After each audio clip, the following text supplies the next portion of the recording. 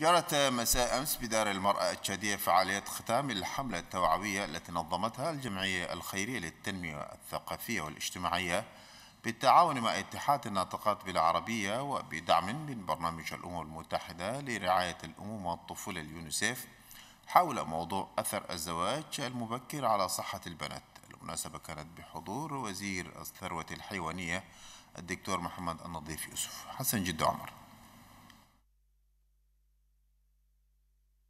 من الحالات إلى العديد من المشاكل الصحية كما تترتب عليه أحيانا آثار سلبية أخرى منها هرمان الفتاة من حقها الطبيعي بالعمل وتحقيق الأحلام وفق ما تريد إلى جانب التعليم الذي يعد حقا أساسيا للفرد. وبهدف توعية المواطنين حول التصدي لهذه الظاهرة عبر سلسلة نشاطات تمثلت في محاضرات وحملات توعوية حملت الكثير من الإرشادات والتوجيهات حول موضوع أثر الزواج المبكر على صحة البنات وتعليمهن. حملة استمرت قرابة تسعة أيام شملت بعض المؤسسات التعليمية هنا بالعاصمة أنجمنا وضواحيها وكذا عدد من مراكز محو الأمية وبعض مربعات الدائرة الخامسة. جاءت بادرة تنظيمها من قبل الجمعية الخيرية للتنمية الثقافية والاجتماعية بالتعاون مع اتحاد النساء التشاديات الناطقات باللغة العربية وبدعم من منظمة الأمم المتحدة للأمومة والطفولة اليونيسيف. عبارات شكر وعرفان شهدها حفل اختتام فعاليات هذه الحملة من قبل رئيسة اللجنة المنظمة زمزم موسى محمد.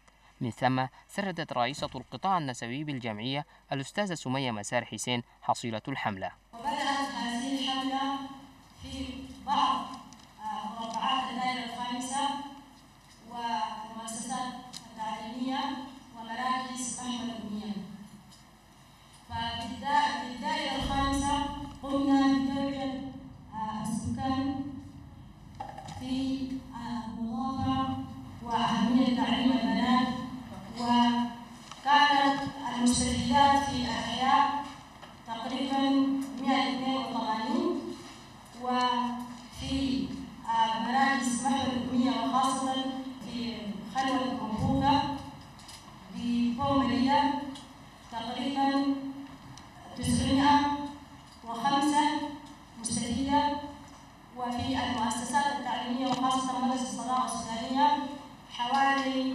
1350 مستفيدا وختمنا تلك الجولة أو الحملة التوعوية بجامعة الملك فيصل كلية واستفادت فيها حوالي 350 طالبة ينبغي أن نشير إلى أنه يجب على الآباء تحديد أهداف وخطط ورسم استراتيجيات لمعالجة حقوق الأطفال الذين هم الجيل المستقبلي لأي بلد كان ذلك من أجل المواقف والممارسات الثقافية خاصة السلبية منها ضد الفتيات. والأهم من ذلك النظر في الوسائل التي تكفل للنساء المتزوجات مواصلة تعليمهن. احتفل اليوم المسنين بيومهم العالمي الذي يصادف الأول من أكتوبر من كل عام وذلك في مناسبة جرت بدار المرأة التشادية. ترأس المدير العام النائب للشؤون الاجتماعية إسماعيل أدم ممثلا للوزيرة التقرير الحسين النور يوسف. يعد الأول من شهر أكتوبر لكل عام اليوم العالمي لكبار السن.